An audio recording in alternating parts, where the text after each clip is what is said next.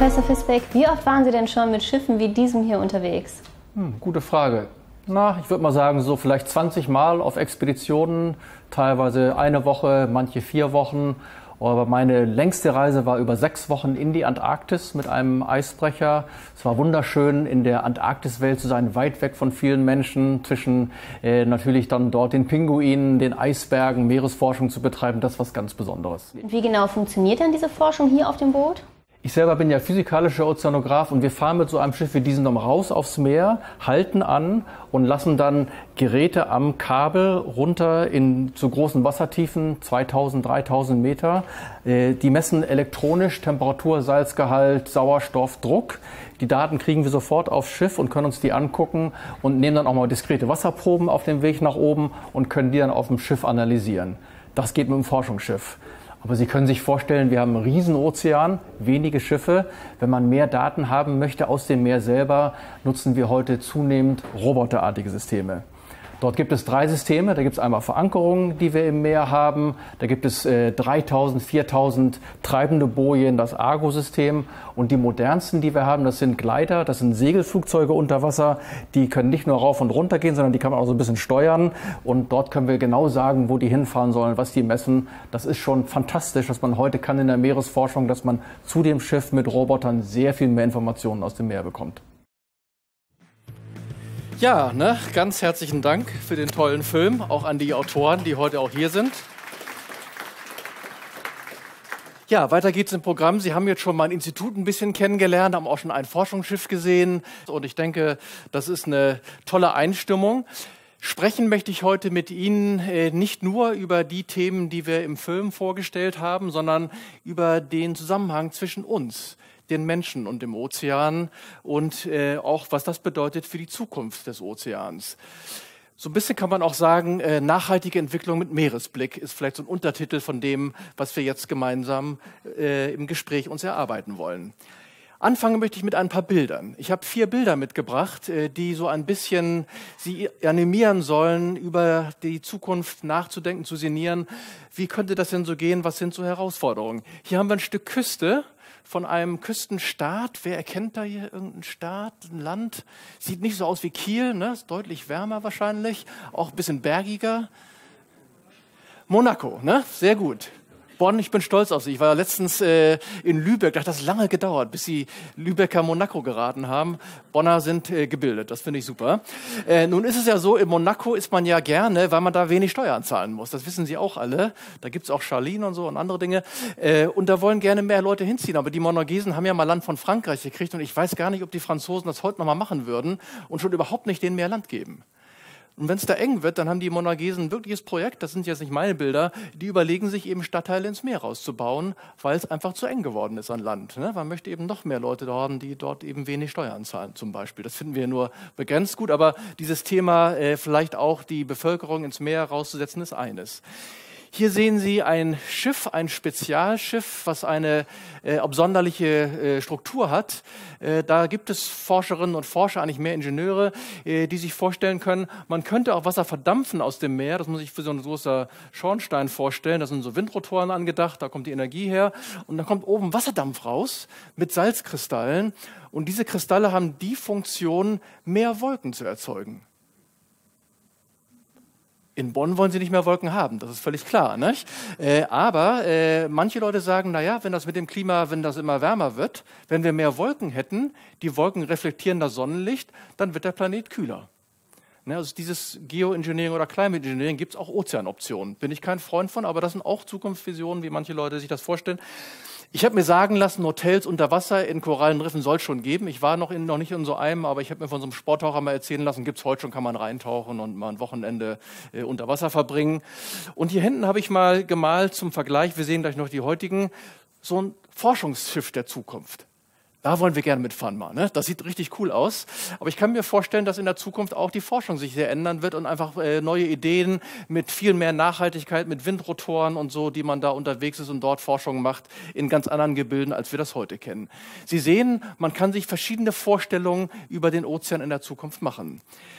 Äh, man kann auch andere Bilder zeigen über den Ozean heute und in der Zukunft. Äh, die sind dann eher so die nicht so schönen Bilder, die aber auch die meisten von uns schon an der einen oder anderen Stelle gesehen haben. Die Zukunft des Ozeans ist eben auch ein bisschen zweiseitig. Es gibt die schönen, äh, visionären neuen Arten der Nutzung und dann gibt es auch äh, die Zeichen der Übernutzung des Ozeans und auch darüber will ich ein Stück weit reden.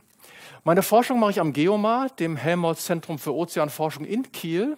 Und vielleicht ein paar Worte dazu. Äh, wir untersuchen die physikalischen, chemischen, biologischen und geologischen äh, Aspekte der Ozeane. Und wir machen das vom Meeresboden durch die Wassersäule bis zur Atmosphäre.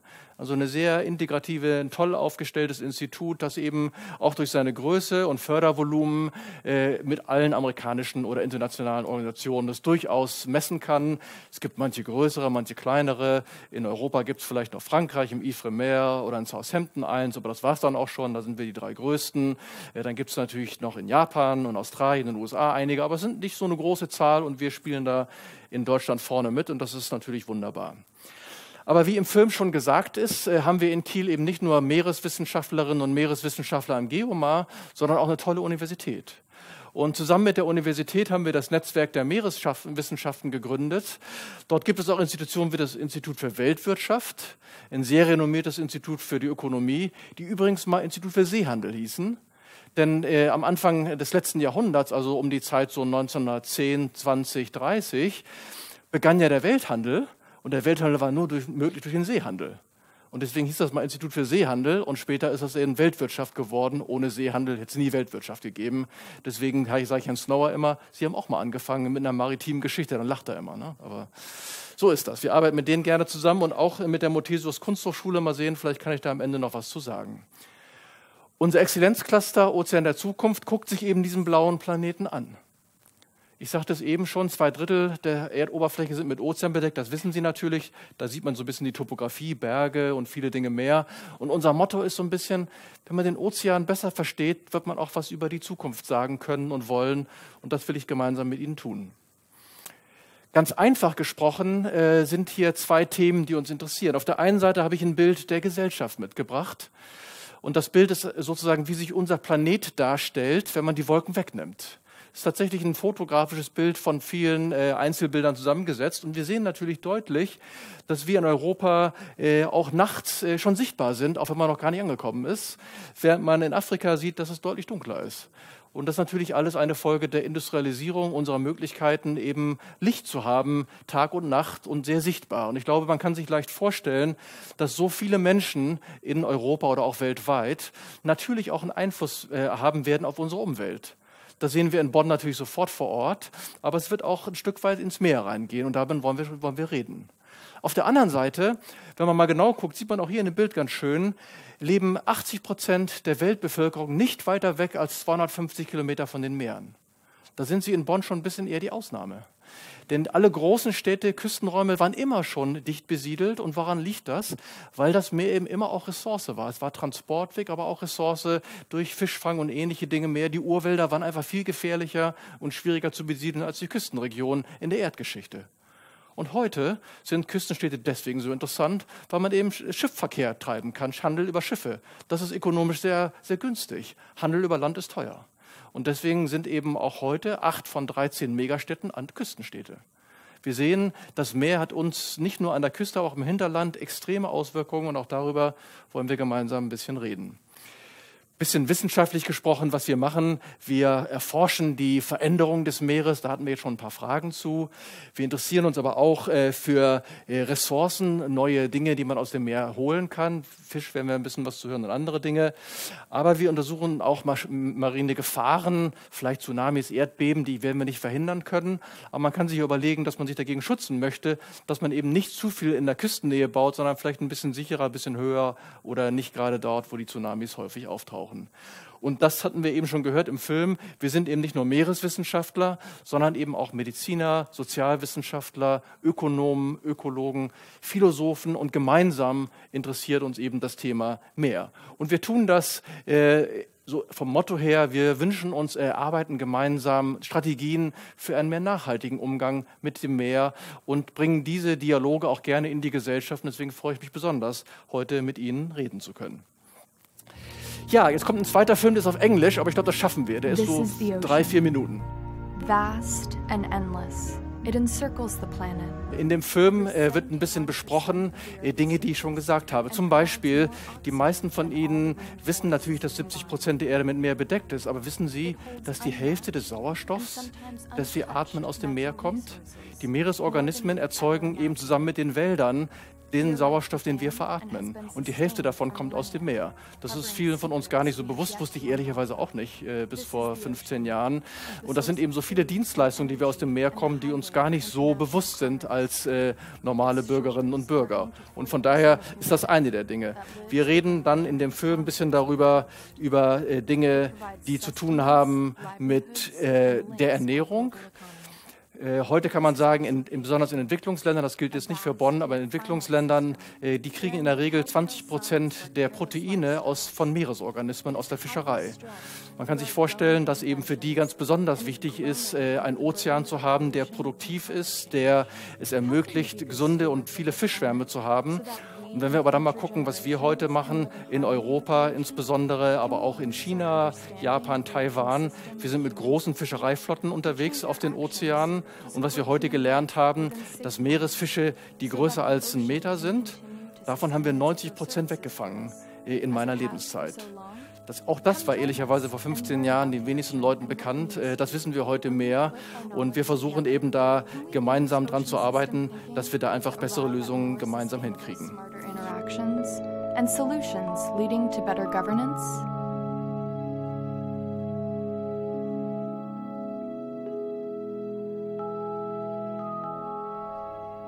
Ich mache mit einem Bild weiter, was das eigentlich schön zusammenfasst.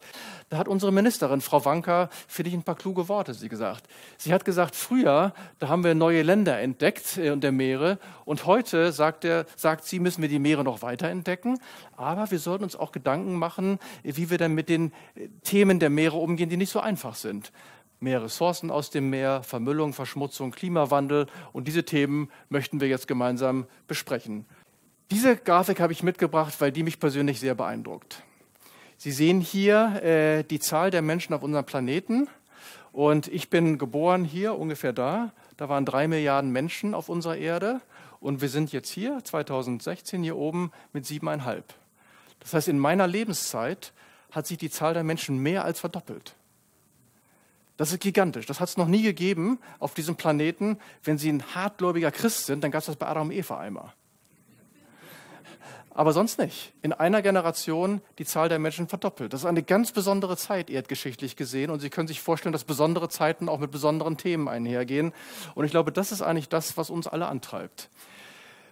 Und dass mehr Menschen auf dem Planeten schnell wachsen, sich schnell entwickeln und dennoch wissen wir, wir haben eine Erde und die hat einen Ozean Natürlich, die Astronomen arbeiten an anderen Planeten, hören wir öfter mal in Nachrichten. Da hat man jetzt einen vielleicht gefunden, der auch vielleicht Wasser haben könnte. Aber ganz ehrlich, ich glaube nicht, dass unsere Kinder und Enkelkinder äh, sagen wir mal, sich mit dem Thema beschäftigen werden, in großen Zahlen zu einem anderen Planeten zu wandeln. Deswegen ist wahrscheinlich sichere, äh, der sicherere Weg für uns, äh, zu sagen, wir sollten mit dem, den wir haben, klug umgehen. Und darüber will ich mit Ihnen ein bisschen sprechen. Ähm, die Wissenschaft äh, guckt sich diese Themen an im Nachhaltigkeitsbereich und sagt, wenn wir nur eine Erde haben, ja, wie viel ist es denn? Und wie viel dürfen wir nutzen, wenn wir es mit allen teilen wollen? Und da kommt man schnell an diese sogenannten planetaren Grenzen, äh, weil man weiß, naja, es gibt eben nur so und so viele Bäume und so und so viel Biodiversität und so viel Trinkwasser. Das muss man alles ein bisschen klug behandeln, sonst kommt man an diese Grenzen und dann wird es sehr knapp und dann wird es für alle schwierig. Planetare Grenzen ist ein wichtiges Konzept. Und ich finde das so schön, wenn man die außen hin malt, die planetaren Grenzen, Überfischung, Klimawandel, äh, Süßwasser, Stickstoff und andere Dinge mehr. Und in der Mitte machen wir uns Menschen rein. Und die Frage ist ja, was wollen wir denn als Menschen? Na, wir wollen natürlich Wasser, Ernährung, Einkommen, Bildung, Resilienz, Teilhabe, Arbeit, Energie, viele Dinge mehr und auch pro Kopf in der Regel mehr. Das heißt, wir haben mehr Menschen, die mehr von den Ressourcen brauchen, aber nur eine endliche Umwelt um uns herum. Und die spannende Forschungsfrage ist wirklich, mit wie vielen Menschen auf dem Planeten kann das gut gehen? 10 Milliarden, 20 Milliarden, 7 Milliarden? Das sind ganz interessante Fragen und die Antwort hängt natürlich davon ab, wie wir als Menschen uns verhalten werden. Und darüber wollen wir gemeinsam ein bisschen sprechen. Ich mache jetzt dieses äh, Nachhaltigkeitskonzept ein bisschen Ozean. Ich hatte gerade schon gesprochen, Sauerstoff, Ernährung, Biodiversität sind wichtige Grundlagen, die das menschliche Leben überhaupt erst ermöglichen. Und da ist natürlich der Ozean spielt da genauso eine Rolle wie das Land, obwohl wir ja an Land leben und dort viel mehr natürlich nutzen. Das Meer ist auch Klimapuffer von uns. Das gibt uns moderatere Klimata, als wir einen, einen, Planeten ohne Meer hätten. Das ist für uns Menschen ganz wichtig, denn wir könnten gar nicht überleben, wenn die Sommer 60 Grad wären und die Winter minus 30. Das heißt, diese, diese moderierende Wirkung des Meeres ist für uns ganz wichtig. Das Meer ist auch Kulturraum. Äh, das machen sich viele vielleicht gar nicht so klar, aber eigentlich weiß man es doch. Denn auch in Bonn fahren viele von Ihnen gerne im Urlaub ans Meer. Und wenn wir das dann machen, wenn wir beide in Sylt im Hotel angekommen sind und in der Rezeption sind, dann kommt euch die erste Frage, ja, wollen Sie ein Zimmer mit Gartenblick oder mit Meeresblick? Ne? Und die meisten von uns, wir beide ganz bestimmt, sagen natürlich dann, ach, wenn ich schon im Urlaub bin, nehme ich doch lieber Meeresblick. Und dann wird in der Rezeption gesagt, ja, es kostet aber 30 Euro mehr pro Nacht. Und das sagen wir dann auch gerne. Und dann kann sie schon sofort daran erkennen, dass wir bereit sind, für den Blick über das Ozean Geld zu bezahlen. Und das würden wir nicht tun, wenn es uns nichts wert ist. Das heißt, diese kulturellen Dienstleistungen äh, von, des Meeres sind materielle Dinge, die man nutzen kann. Und da sage ich gleich noch ein Wort zu. Wenn man in Europa unterwegs ist, dann geht es natürlich um die Ökonomie Europas und da gibt es viele Schlagworte und Forschungsprogramme. Wir müssen die blaue Ökonomie vorantreiben, mehr aus dem Meer holen. Und die meisten denken, dann heißt es mehr fischen, haben wir eh schon viel zu viel. Mehr Öl und Gas bohren, müssten wir eigentlich auch noch mehr, vielleicht mehr Windkraft, das ist vielleicht eine gute Idee, aber es geht eben um Einkommen, Märkte, Arbeit, viele Dinge mehr. Und was die wenigsten, auch Europa am Anfang übrigens sich nicht so klar gemacht hatte, was ist denn die größte Meeresindustrie in Schleswig-Holstein, in Europa und übrigens auch in China? Fischerei?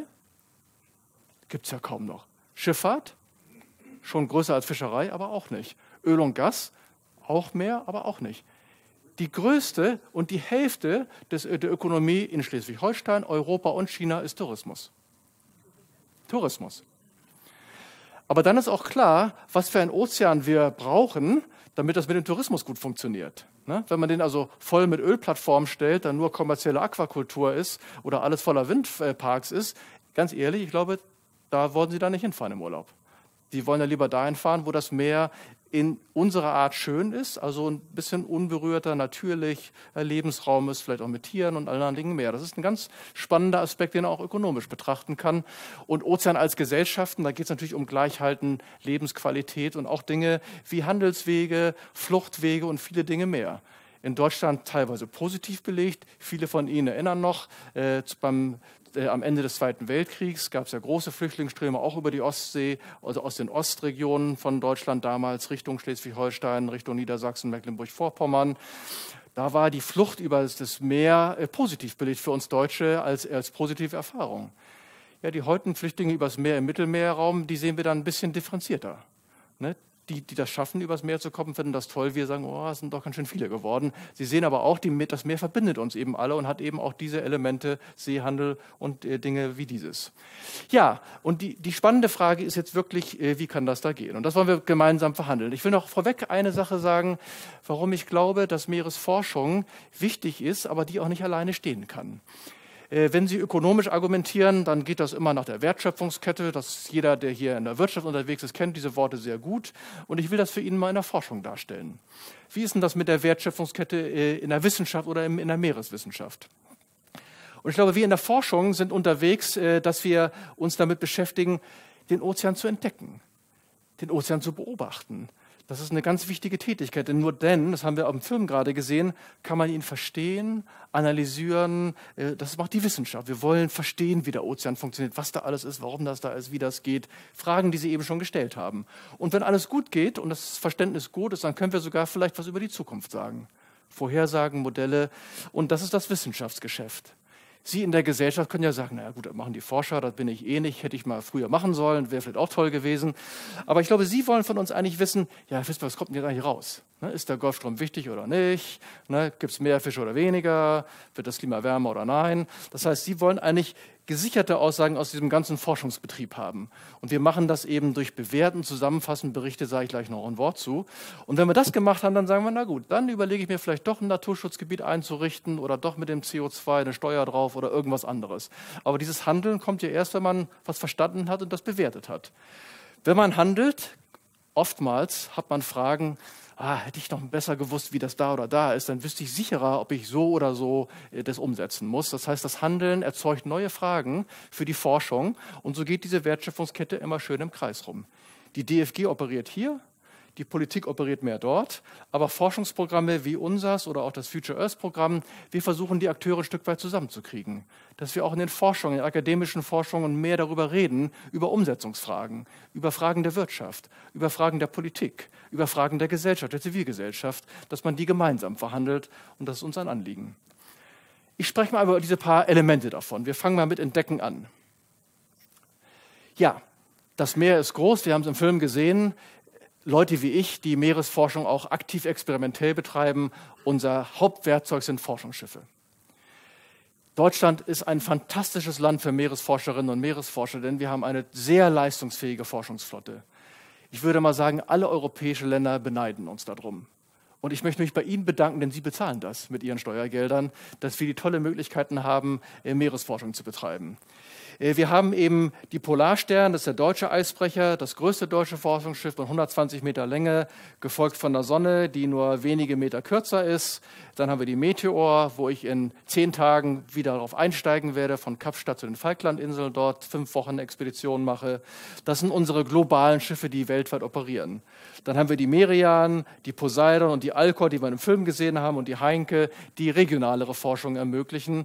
Und diese Schiffe äh, äh, ermöglichen uns eben überhaupt Meeresforschung zu machen, in dem Sinne, dass Wissenschaftlerinnen und Wissenschaftler raus aufs Meer kommen, dort Wasserproben nehmen können, dort Messungen machen, eben vor Ort sein können im Meer. Das sieht dann so aus, haben wir im Film gesehen, da gibt es also Sonden, die man ins Meer lässt, da gibt es Labore. Und ich möchte Ihnen auch äh, sagen, wir arbeiten rund um die Uhr sieben Tage. Da gibt es kein Wochenende und kein Feierabend. Wir machen Schichtbetrieb, genauso wie wir das aus dem Krankenhaus kennen oder beim Militär. Äh, das machen sich die wenigsten klar. Die denken, wir sind auf Kreuzfahrt. Das ist durchaus sehr schön. Ich fahre auch gerne auf See. Aber ehrlicherweise ist es ein Arbeitsprogramm. Ne? Und da gibt es auch keinen Sonntag und auch keinen Feiertag. Da wird durchgearbeitet vier Wochen. Da ist manchmal Transit, dass man da mal zwei, drei Tage nicht so viel zu tun hat. Aber ehrlicherweise kommt man ziemlich erschöpft da nach Hause davon. Allerdings werden wir gut verpflegt, das ist auch nett und so weiter. Aber es ist doch äh, ein Arbeitsschiff eben und kein äh, Erholungsschiff. Wir machen Netzfänge und analysieren Dinge wie diese. Das heißt, da wird eine Vielzahl von Arbeiten gemacht, die natürlich äh, dann äh, von den Expertinnen und Expertinnen ausgewertet werden.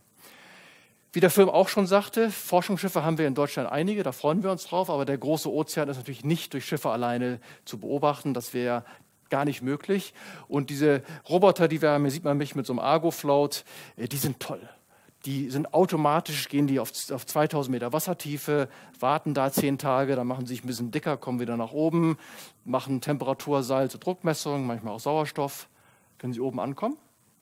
GPS an, Handy an, SMS geschickt, Daten kommen nach Kiel. Wunderbar. Ne? Braucht man nichts machen, das machen die alles automatisch.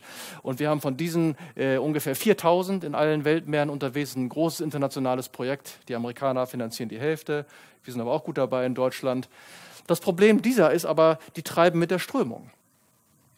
Und Wissenschaftler sind immer unzufrieden und immer kritisch. Das ist ja unser Job. Und dann habe ich gedacht, ah, die müssen sich doch mal bewegen können, weil die treiben mit der Strömung irgendwie so weg.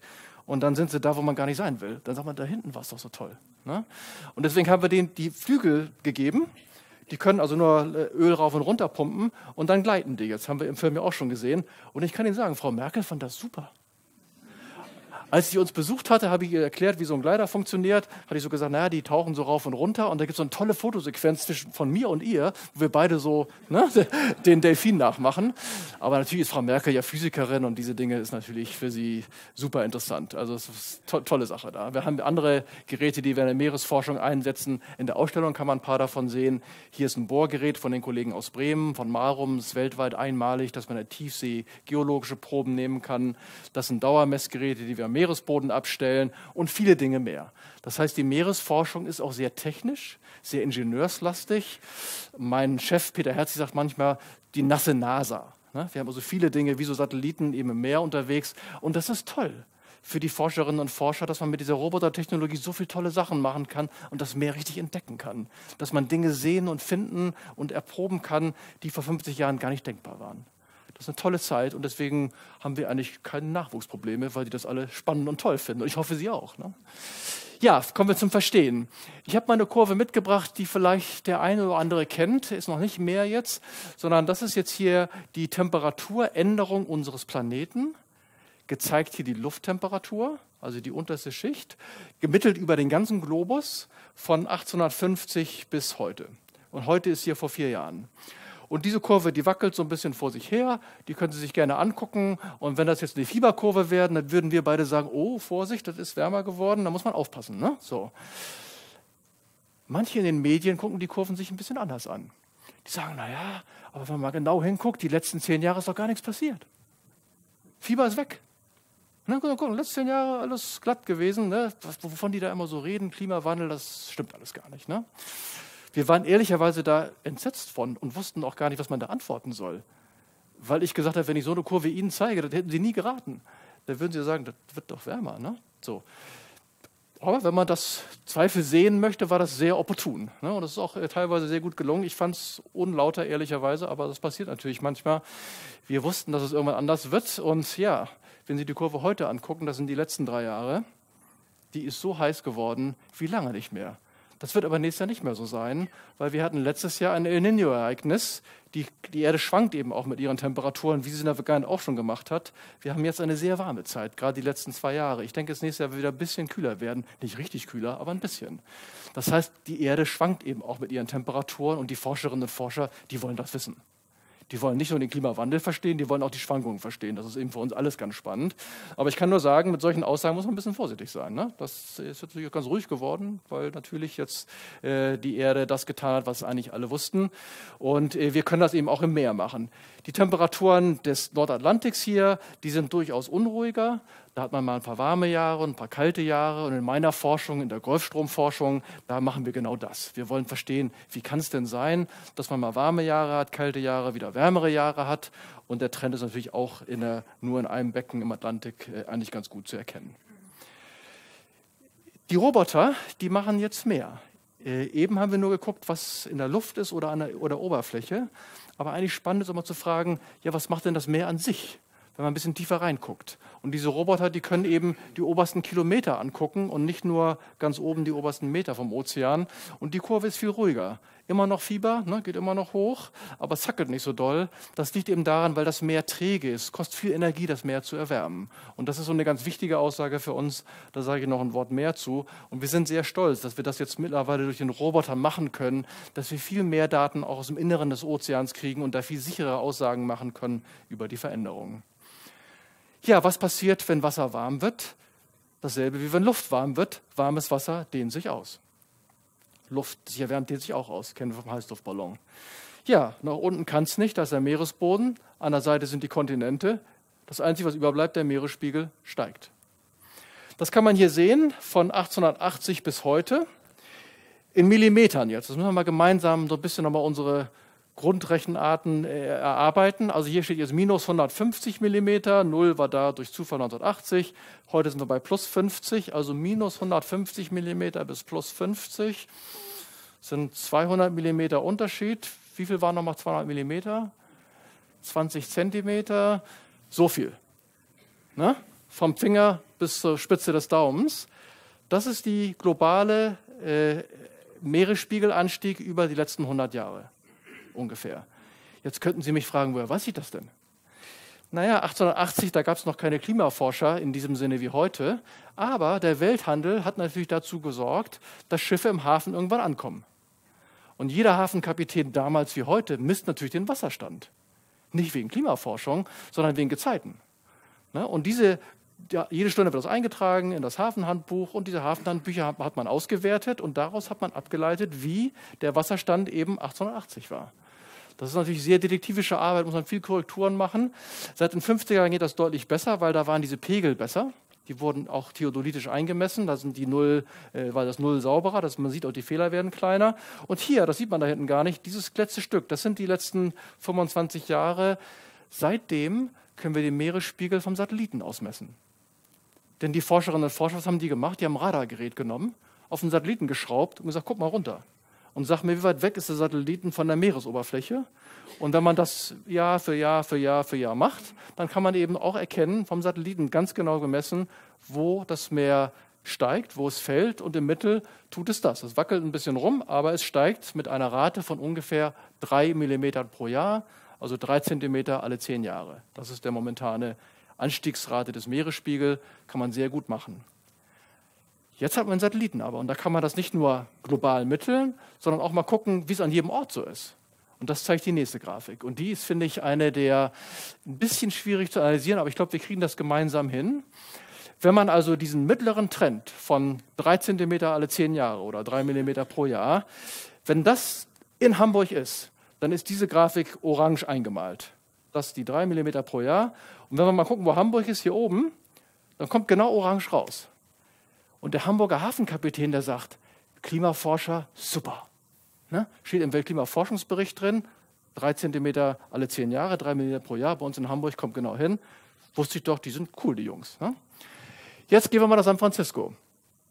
Oh, minus 3 mm, 4 mm über diese 10, auch 20 Jahre. Da sagt natürlich der Kapitän in San Francisco, wusste ich es doch, Klimaforscher lügen, das haben mir alle schon gesagt. Ne? Kommen Sie mal zu mir, können Sie mal Meeresspiegel messen, geht runter. Ne? Ist aber lokaler Meeresspiegel. Oder wir gehen hier in die Südsee, Tuvalu, da ist das dunkelrot. Die sagen, Drei Millimeter pro Jahr, komm mal zu mir. Neun pro Jahr über die letzten 20 Jahre. Bei denen ist Land unter bald. Ne? Die haben nämlich nicht nur so viel gesehen, die haben mittlerweile schon so viel gesehen an Meeresspiegelerhöhung. Und deswegen kriegen wir von den Regionen manchmal auch Bilder oder Aussagen, dass der Meeresspiegelanstieg schon so schlimm ist. Das hat damit was zu tun, es ist nicht überall gleich auf der Welt wir in der Forschung versuchen, das zu verstehen. Ne? Man kann das Mittel gut verstehen, aber diese regionalen Änderungen kommen im Wesentlichen her durch Veränderung der Winde. Wenn der Wind stärker wird, dann schiebt der Wind das Wasser Richtung Westpazifik und dann kriegen die Inseln dort höheren Wasserstand. Und das Wasser wird dann eben gerade hier von der Westküste der USA weggenommen. Und deswegen fällt der Meeresspiegel in San Francisco. Aber ich will Ihnen nur sagen, Meeresspiegel ist nicht ganz so einfach. Global gesehen ist das alles super, es ist eine schöne glatte Kurve, aber regional ist es schwieriger. Und deswegen hat die Deutsche Forschungsgemeinschaft, vielen Dank, äh, gerade ein Schwerpunktprogramm dazu gefördert, um eben diesen regionalen Meeresspiegel besser zu verstehen. Das ist deutlich schwieriger. Gibt es auch noch viele andere Dinge, die wir diskutieren können. Der Meeresspiegel steigt nicht nur an, weil das Meer wärmer wird, sondern wer mal in Alpen unterwegs ist, sieht ja auch, die Gletscher werden weniger. Wo geht das Wasser hin? Naja, das geht in Alpen, dann in den Rhein, von Rhein nach Holland und dann irgendwann Nordsee und dann ist im Meer. Das heißt, alle Gletscher, die schmelzen, landen im Meer und der Meeresspiegel steigt auch wegen Gletschern. Das ist äh, mittlerweile ein deutlicher Beitrag. Die Gletscher, der Beitrag der Gletscher ist äh, mittlerweile schon über 20 Prozent. Man sieht jetzt hier den Gletscherbeitrag, äh, der hier nochmal dargestellt ist. Und was wir auch merken, dass die großen Eispanzer, Grönland und die Antarktis, auch schon schmelzen. Und zwar gar nicht so sehr bis 2002, kaum merkbar, aber in den letzten Jahren deutlich mehr. Die Welt wird wärmer und die Eispanzer fangen an auch zu schmelzen. Das macht uns mehr Sorgen. Denn wir haben sehr viel Festland also auf unserem Planeten. Wenn man nur mal Grönland nimmt, wenn Grönland komplett abschmelzen würde, das geht nicht über Nacht, aber wenn es das passieren würde, dann erwarten wir einen Meeresspiegelanstieg von sechs Metern. Das ist das Geomar nicht mehr Wassergrundstück, da können wir schon Unterwasserlabors in der untersten Etage da haben. Ne? Das wäre katastrophal, auch für uns alle. Das macht man gar nicht ausdenken. Das ist sicherlich 200, 300 Jahre weg, aber im Moment sind wir auf dem Wege, selbst das zu veranlassen. Äh, die Antarktis, äh, die kennen wir aus den Eiszeiten, wenn die abschmelzt. Das sind gigantische Mengen, das ist nochmal deutlich mehr. Wir hoffen alle, dass das nicht passiert, weil das wäre wirklich für uns alle ganz schwierig. Ich hatte ja gesagt, 80 Prozent der Weltbevölkerung liegt an der Küste. Alle großen Städte sind Küstenstädte. Das wäre eine super große Herausforderung für die. Das ist alles noch nicht so genau, da ist die Forschung unterwegs, aber da gibt es schlafende Riesen, die man da nicht wecken möchte. Ne? Das Meereis, wissen Sie sicherlich aus den Medien auch, ist im Moment auch deutlich weniger geworden. Na gut, ein wärmerer Planeten macht eben nicht nur Auswirkungen in den Alpen, sondern auch im, im, in den Nordpolregionen, Sommereis insbesondere. Wir haben jetzt oft schon fast die Hälfte nur noch bedeckt im Vergleich zu früher. Und auch das Eis, das mal früher noch drei Meter dick war, ist heute kaum noch dicker als ein Meter geworden. Da sind sehr große Änderungen schon passiert in den letzten 40 Jahren. Und man erwartet eben, dass die Sommer zunehmend äh, eisfrei werden. In der Arktis im Winter kommt es dann wieder aber im Sommer wird es weg sein.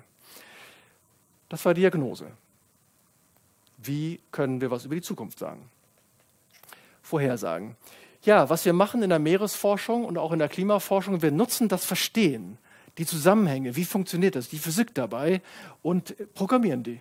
Das sind einfach physikalische Grundgleichungen, dass man sagt, heute hier warm, dann strömt ein bisschen Wärme darüber. Wenn die Strömung schiebt, dann geht da hinten der Wasserstand hoch.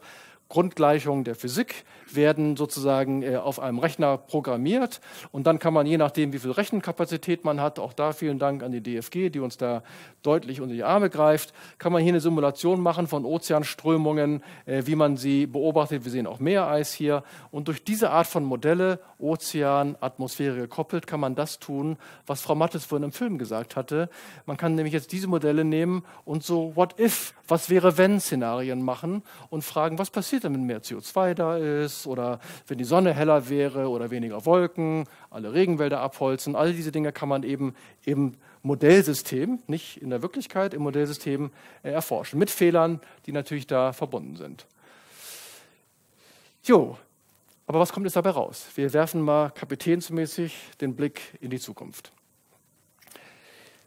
Wie macht man das? Frau Mattes sagte schon, wir wissen eben, wir sind mehr geworden und wir wissen auch, dass wir noch mehr werden und dass vor allen Dingen viele Länder auf der Welt so werden wollen wie wir. Die finden Deutschland nämlich richtig toll. Und die sagen, boah, einmal im Jahr eine Fernreise machen, ne, Rente haben, viele Sachen mehr, das würde ich auch gerne haben. Und das bedeutet, die werden sich entwickeln. Ne? Vielleicht wir nicht mehr so schnell wie die anderen, aber das wird deutlich mehr werden. Und das drückt sich in der Regel dadurch aus, dass Energie ja einer unserer Hauptmotoren ist. Und der Hauptwohlstandsmotor ist in unserer Gesellschaft entstanden durch Verbrennung fossiler Brennstoffe. Das war ja eine tolle Entwicklung, dass man überall Energie hatte. Das ist doch wunderbar. Aber das gab eben den Preis dabei, dass dabei CO2 rauskam. Und das CO2 tut natürlich auch was mit der Umwelt. Sie sehen den Anstieg des CO2s äh, seit den 60er Jahren, hier in Mauna Loa gemessen. Mittlerweile sind wir schon hier oben, über 400. Das sind jetzt Einheiten, die müssen Sie nicht kennen. Aber ich möchte auch so ein bisschen so einen Lichtblick mal zeigen. Wenn man sich die CO2-Entwicklung anguckt über die letzten 15 Jahre, Europa übrigens ist flach leicht nach unten. Das heißt, wir können auch mit weniger CO2-Ausstoß durchaus noch wachsen. Es sind mehr Leute nach Europa gekommen, der Wohlstand ist besser geworden. Wir haben es klüger genutzt, unsere Energie und auch andere dazu getan. Übrigens auch in den USA, unabhängig davon, was man in den Medien liest. Die Amerikaner machen sehr viel alternative Programme und weg von den fossilen, wenn auch nicht in der Rhetorik. Aber on the ground passiert das. Äh, die großen Länder, äh, wo CO2-Ausstoß hochgeht, ist Indien und China. Und da könnte man natürlich sagen, ja, wusste es doch, die bösen Chinesen. Ganz ehrlich, damit das bei uns hier runtergeht, was haben wir gemacht? Die Schwerindustrie nach China exportiert. Ne? Da muss man nicht verhütten, da muss man keine Kohle verbrennen, da machen die anderen. Ne? Und dann kriegen die die Haue dafür ne? und nicht wir. Ne? Aber wir, wir haben sich durch Welthallen den Benefit. Ne? Kann man auch ein bisschen anders rechnen. Aber das ist so ein bisschen das. Und diese Entwicklung wird eben genommen und dann muss, machen sich kluge Köpfe Ideen, ja, was machen wir denn jetzt in der Zukunft? Und dann machen die Umfragen und sagen, ja, können Sie sich vorstellen, vielleicht in Zukunft nur noch Fahrrad zu fahren? Dann sagen sie, ja, weiß ich nicht so genau, meine Enkelin vielleicht. Ne? Äh, und nach, nach, diesen Umfragen werden diese Szenarien gemacht, dass man sagt, oh, wenn wir uns gar nicht ändern wollen, dann landen wir hier oben mit dem CO2-Ausstoß. Und wenn wir wirklich Klimaschutz betreiben, dann geht es vielleicht deutlich runter. Das sind diese Szenarien, die ausgerechnet werden. Das ist nicht vorgeschrieben, nur was wäre, wenn. Ne? Und dann guckt man, was würde passieren, wenn. Das machen wir jetzt in Kiel, das machen die Kollegen in den USA, weltweit. Und da jedes Modell auch mit Fehlern behaftet ist, sagt man, ach, ich hätte gern lieber alle zusammen. Ne, was kommt denn so im Mittel raus? Ne, weil man weiß ja nicht, ob ein Modell gut ist. Und das ist eben der Grund, warum Deutschland und viele andere diese, äh, das IPCC, die Weltklimaforschungsberichte einfordern. Frau Merkel sagt uns immer, Herr Fisbeck, wir müssen die alle fünf Jahre haben. Sonst vergisst die Bevölkerung das. Und wir immer, oh, so viel Arbeit. Nein, das ist ganz wichtig. Die, die Gesellschaft, die Politik möchte gerne wissen, alle fünf Jahre, wie steht es denn mit dem Klima und wo geht die Reise hin? Und da wollen die nicht eine Einzelmeinung haben, sondern die wollen die Gesamtheit der Forschung befragen. Und das machen wir mit diesen Sachstandsberichten. Und die Wörter kennen Sie. Am Anfang waren die noch so ein bisschen moderater, da waren noch viele Fehler und Unsicherheiten, aber das wird deutlich klarer, die Aussagen. Ne? Warming of the climate is unequivocal, das heißt, es gibt keine Zweifel mehr daran, dass das Klima wärmer geworden ist. Da waren die Aussagen in den 80ern durchaus vorsichtiger. Das liegt eben daran, dass wir mehr gemessen, mehr gelernt, mehr verstanden haben. Und das ist keine Einzelarbeit. Wenn man sich mal vorstellen, das sind 200 Kollegen weltweit, die diesen Bericht zusammen machen, in einem heroischen Aufwand mit über 600 Wissenschaftlerinnen und Wissenschaftlern, die dazu Beiträge leisten. Die haben 54.000 Kommentare gekriegt von Gutachtern. Sie können selber Kommentare machen, die alle beantwortet werden müssen und dann wird der Bericht geschrieben. Das ist ein sehr hoher Aufwand. Wir machen einfache Berichte bei uns beim Wissenschaftlichen Beirat für globale Umweltfragen. Der hat auch zum Meer was gesagt. Der hat gesagt, die Zukunft der Meere zu warm, zu hoch, zu sauer. Das mit der Wärme hatte ich schon gezeigt. Ich zeige genau ein anderes Bild, ein anderes Bild der Erwärmung. Und hier muss ich einmal ein bisschen mich entschuldigen als Physiker. Wir zeigen hier nicht Temperatur, sondern Energiemenge. Denn in der Physik ist es so, Temperatur ist auch ganz nett, aber eigentlich die Energie, die Maßzahl der, der, der Wärme, nicht der Temperatur. Und wir zeigen hier die Änderung der Energie auf dem Planeten, nicht die Änderung der Temperatur. Und warum das ein Unterschied ist, das wissen Sie auch zu Hause. Jeder zweite von Ihnen hat ja ein Schwimmbad zu Hause. Ne? Und wenn Sie ein Schwimmbad heizen wollen, das kostet natürlich viel mehr Energie, als wenn Sie Ihre Wohnung heizen wollen. Das liegt daran, Wasser warm machen kostet viel Energie, Luft warm machen kostet nicht so viel Energie. Und deswegen ist eben die Erwärmung der Atmosphäre kostet überhaupt gar keine Energie. Das sehen Sie ja gar nicht mehr, den lila Streifen. Der ist hier unten. Während die Erwärmung der Meere, das kostet die Energie. Das heißt, die ganze Energie des Klimawandels sitzt im Meer. 93 Prozent, um es genau zu sagen. Wir brauchen ein bisschen Energie, um die Gletscher zu schmelzen so schlimm wie das ist. Aber das ist viel einfacher als Meer warm zu machen und auch das Land zu erwärmen. Das haben wir auch gesehen in der Landwirtschaft. Das heißt, vom Energieaspekt her muss man ins Meer gucken. Und wenn einer die Frage stellen wollte, ob der Klimawandel aufgehört hat oder nicht, dann muss man ins Meer gucken, weil dort sitzt die Energie. Dort ändert sich eben die Energie. Und da, wenn man da genau hinguckt, sehen wir, es schwankt auch ein bisschen, aber das geht leider relativ stetig voran. Die Modelle kennen das.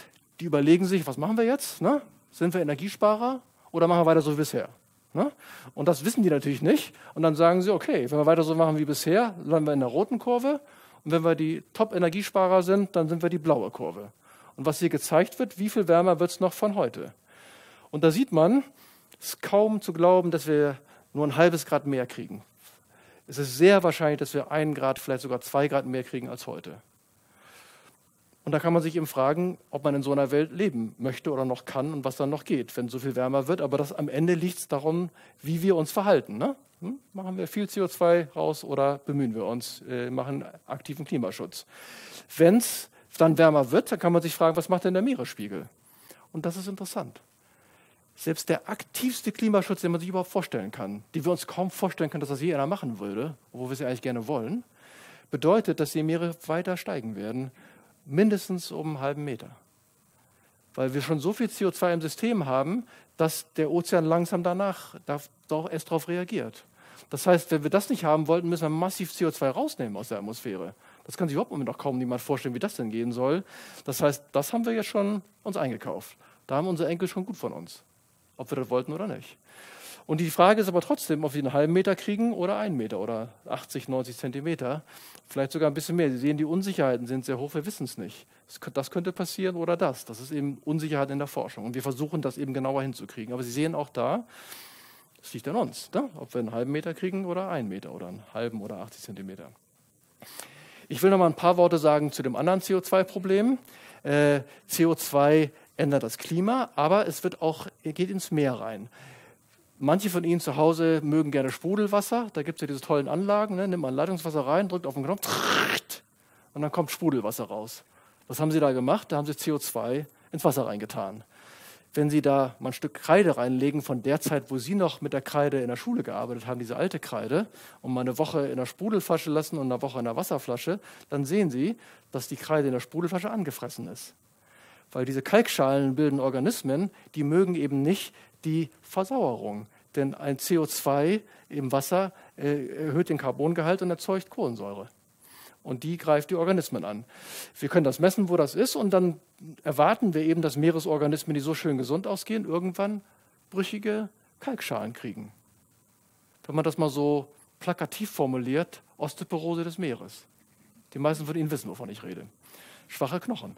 Und das ist eine Sorge, die uns umtreibt. Wir wissen, das Meer ist basisch, hat einen pH-Wert von 8,1 so im Mittel. Und wir haben jetzt schon gesehen, dass wir 0,1 bis 0,2 pH-Einheiten saurer geworden sind im Meer. Das macht uns viele Sorgen. Denn wir wissen nicht genau, was das Ökosystem damit macht, wenn es in einer saureren Umgebung ist. Ne? Das wird es nicht mögen. Da wird es Arten geben, denen ist das egal. Und andere, die werden brüchige Knochen kriegen und nicht mehr sich so schön entwickeln. Die sind unter Stress. Die kommen unter Stress durch Chemie, die kommen unter Stress durch Erwärmung, Meeresspiegelanstieg. Schwierig.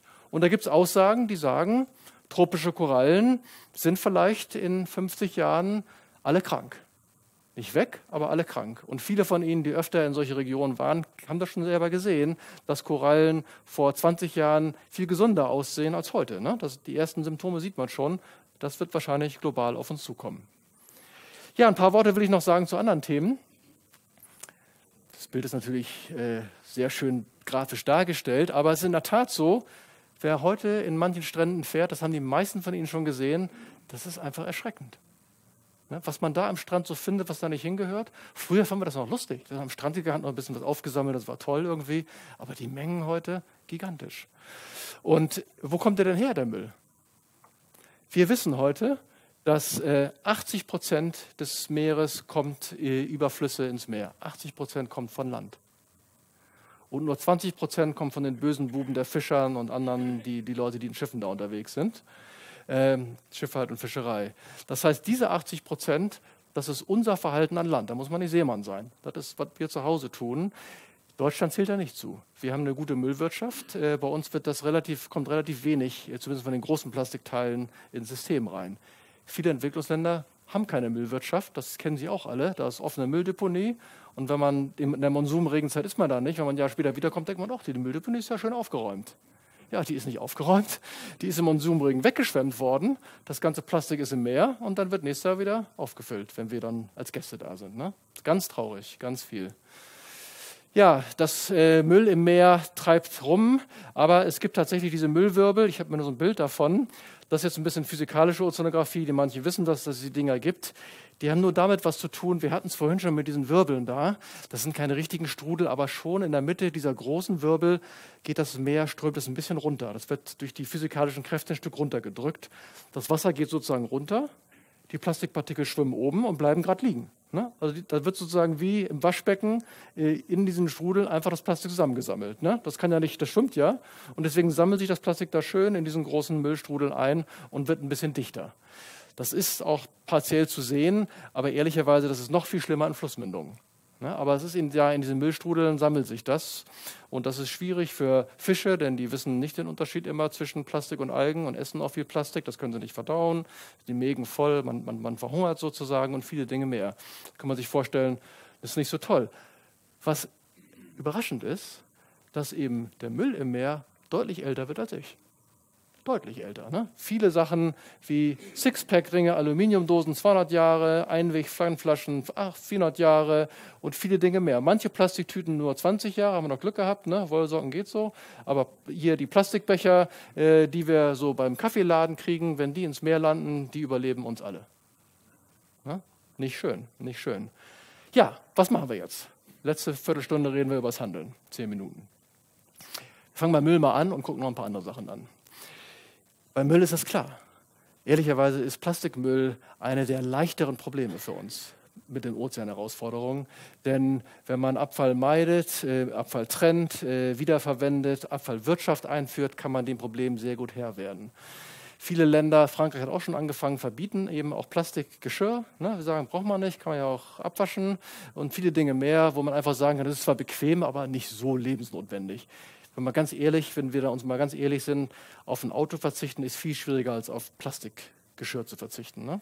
Und dann sollte man die leichten Sachen wenigstens schon mal machen, wenn wir schon im Auto so ein Problem haben. Aber das könnte man ja tun. Äh, und das ist aber auch nicht nur in Deutschland, das ist eh nicht so schlimm, sondern wir müssten auch ein bisschen Verantwortung übernehmen für den Rest der Welt durch Entwicklungshilfeprogramme oder so. Die haben vielleicht die Ressourcen nicht. Ne? Könnte man ihnen ja ein bisschen helfen da. Ich glaube, da kann man viel machen. Ähm, schwieriger wird es mit dem Fisch. Wir überfischen sehr viel auch heute noch. Und da kann man sich ja mal fragen, warum machen wir das denn? Und wir haben es ja auch gar nicht so gemerkt. Ne? Haben Sie ein Gefühl dafür, was so ein großer Fisch kostet? Thunfisch, ne? Blauflossen, Thunfisch, so ein großer, 200 Kilo. Er ist Segler, fragen wir ihn mal. Ne? Was haben Sie ein Gefühl, was man dafür so kriegt für so einen Blauflossen, Thun, 200 Kilo? Wahrscheinlich vierstellig. Vierstellig wäre also dann 20.000, sowas, ne? Hätte ich auch geraten. Ne? So ein großer Thunfisch, der Fischer kriegt vielleicht 1000 und auf dem Markt 20.000. Ja, äh, ich kann Ihnen sagen, am 5. Januar 2012 dieser Fisch, 260 Kilogramm, 736.000 US-Dollar. Ein Fisch. Habe ich gedacht, war unverschämt. Ne? Haben wir ein Jahr gewartet, ne? ein Jahr später, kleinerer Fisch, äh, 220 Kilogramm, 1,7 Millionen. Ja, meine Damen und Herren, das ist ein besonderer Tag in Japan. Der erste Fisch des Jahres ist besonders wertvoll. Aber Sie können sich vorstellen, das ist die Ökonomie von Drogenhandel. Und genau so geht's. Da wird schön illegal gefischt, da wird sich nicht an die, äh, an die Regeln gehalten. Ne? Das ist eben so wie beim Drogenhandel. Ne? Wenn, das nur, wenn der Preis stimmt, geht ganz viel. Ne? Und das ist natürlich wieder an uns, weil wir zahlen ja den Preis. Ne? Da kann man sich überlegen, man kann auf die Fischerei schimpfen, aber ganz ehrlich, ich meine, die verkaufen an uns. Und wenn wir den Markt nicht haben oder das den Markt besser regulieren, dann wird es auch nachhaltige Arten der Fischerei geben. Aber im Moment ist der Markt halt katastrophal, schlecht reguliert. Europa war ganz schlecht, wir werden ein bisschen besser jetzt. Viele Dinge, die man darüber reden könnte. Aber es gibt gute Seiten. Wir erforschen, entdecken mehr aus dem Meer. Wir, wir, lernen dort Wirkstoffe kennen, gerade in der Tiefsee. Dort gibt es Organismen, Pflanzen, Dinge, die man züchten könnte für Nahrungsersatzmittelstoffe, für Kosmetika, aber auch für äh, Krankheitsheilungen. Denn wir wissen natürlich heute, wir machen in der, wer sich in der Medizinforschung auskennt, wird sehr viel mit sogenannten Mausmodellen gemacht. Das sind nicht die Modelle, die ich gezeigt habe, sondern dann nimmt man einen Mausorganismus und prüft, ob ein Medikament äh, hilft oder nicht hilft oder ob verträglich ist. Äh, man weiß aber heute, dass eigentlich Mäuse genetisch nicht dichter an uns dran sind als manche Meeresschnecken. Manche Meeresschnecken sogar einfacher und bessere Modellorganismen wären als Mäuse, weil im Stammbaum sind wir da mal von weggelaufen, aber die Mäuse nach da, die Menschen nach da und die Schnecke ist uns gemeinsam dort. Und in der, in der Medizinforschung überlegt man sich durchaus, mehr äh, Meeresorganismen als Modelle zu nehmen oder aber auch von Meeresorganismen zu lernen über Infektionskrankheiten, über Barrierekrankheiten und andere Dinge mehr. Also die, die, die Life Science Forschung entdeckt auch ein Stück weit die Tiefsee. Das ist natürlich nicht so einfach, weil man da nicht so leicht hinkommt. Aber es gibt eben auch Sachen, die man dort decken kann, die in der Zukunft uns sehr helfen werden. Und auch das machen wir in der Forschung. Es gibt auch Rohstoffe im Meer, äh, Metalle, äh, Öl und Gas und andere Dinge mehr. Aber da muss man dann verhandeln, wenn man Meeresbergbau betreibt. Das wird nicht ohne Schaden abgehen. Da wird es äh, viel Zerstörung geben, auch im Meer. Da kann man natürlich sagen, das will ich nicht. Ich jetzt auch nicht. Allerdings, wenn wir alle ein Elektroauto haben wollen, irgendwo muss das Kupfer hierher kommen. und dann ist eben die Frage, wie kann man es umweltfreundlicher hinkriegen? Im Meer oder an Land? Im Moment ist es ziemlich klar, an Land ist es umweltfreundlicher.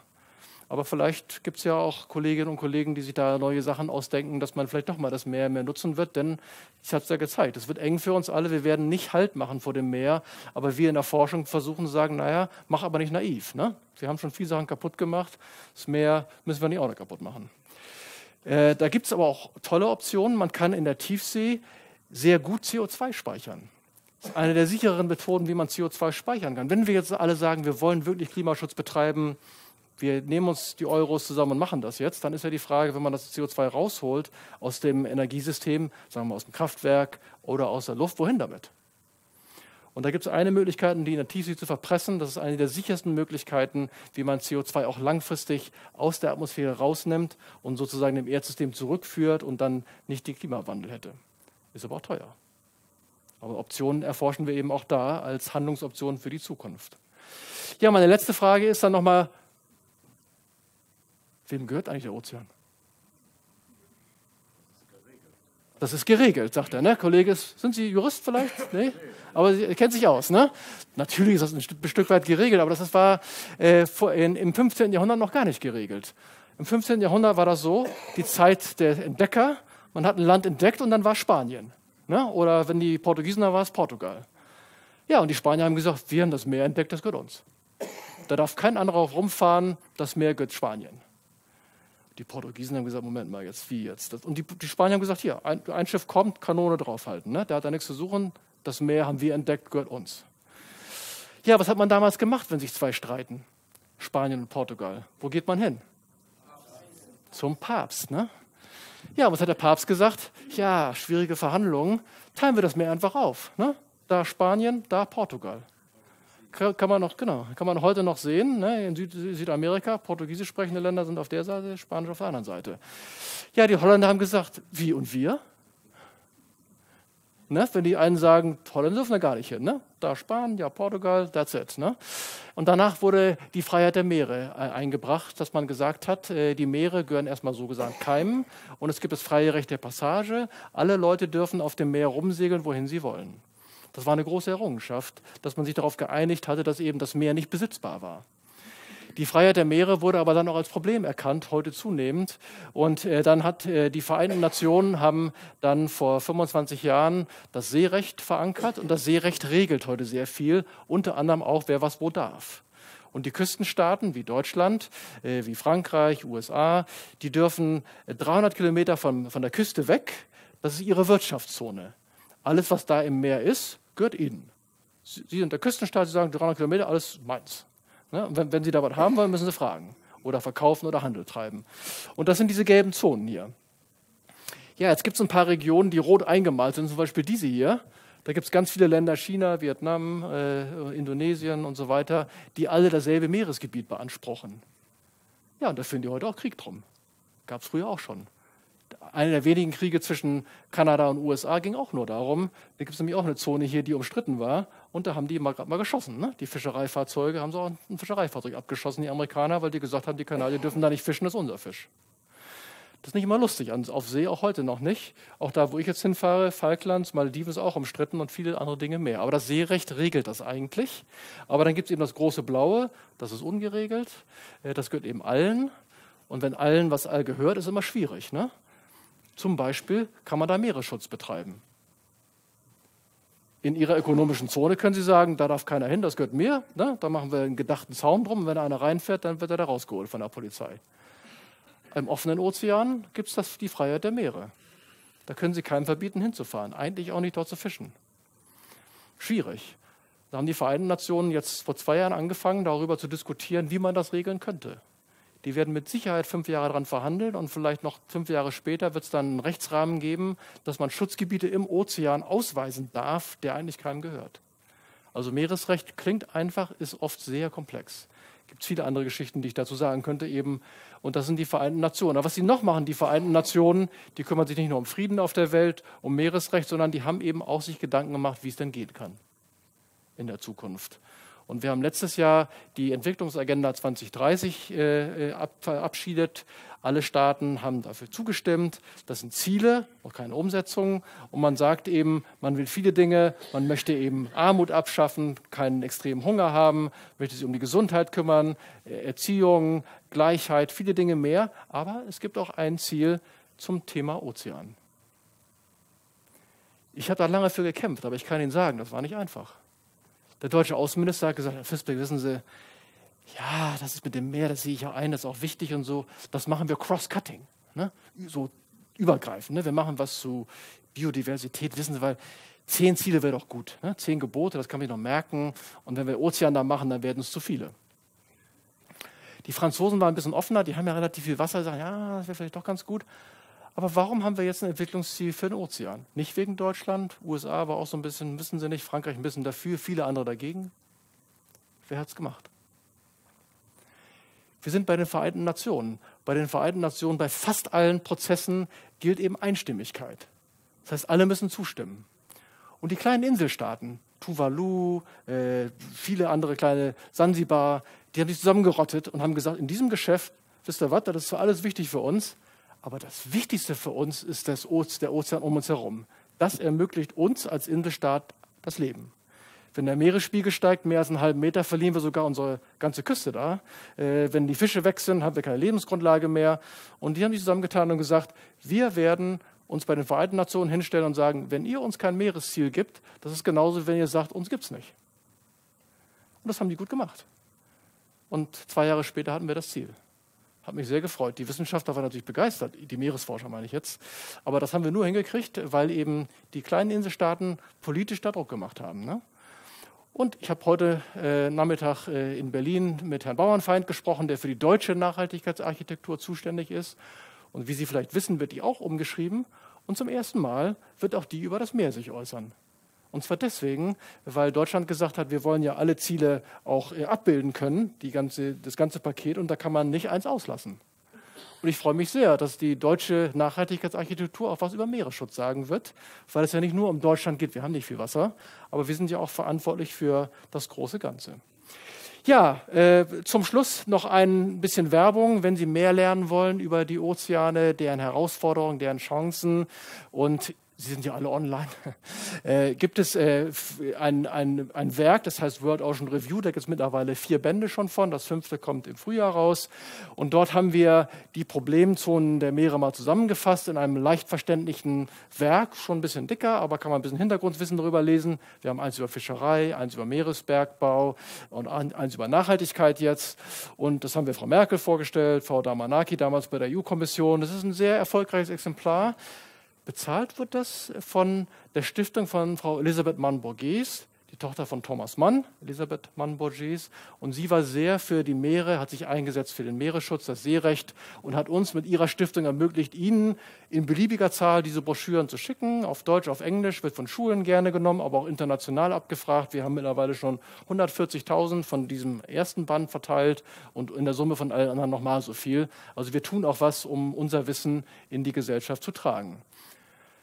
Enden möchte ich mit zwei Dias, eins mit Text und eins mit weniger Text. Was ist meine Vision für das Meer in der Zukunft, in dem Kontext wir als Menschen? Ich glaube, es ist wichtig, dass wir den Ozean viel mehr in die Mitte der Gesellschaft bringen. Ich bedanke mich bei der DFG, dass wir hier die tolle Ausstellung haben, in Bonn nicht nur hier, sondern auch da, weil die meisten von uns denken nicht so an den Ozean, weil er doch ein bisschen weiter weg ist. Aber ich glaube, der Ozean, ich hoffe, ihr habt das ein Stück weit sagen können, ist doch sehr wichtig für uns. Und ich glaube, das wäre schön, wenn wir einfach ein bisschen mehr auch mal den Ozean mitdenken, über alle vielen anderen Dinge, die uns so durch den Kopf gehen. Wir in der Forschung, unser Job ist es, mehr Wissen zu generieren. Das tun wir auch, wir bemühen uns auch, äh, aber ich glaube, gemeinsam, äh, dieses Wissen tragen wir auch mehr in die Gesellschaft, aber gemeinsam sollten wir eigentlich daran arbeiten, was wir machen.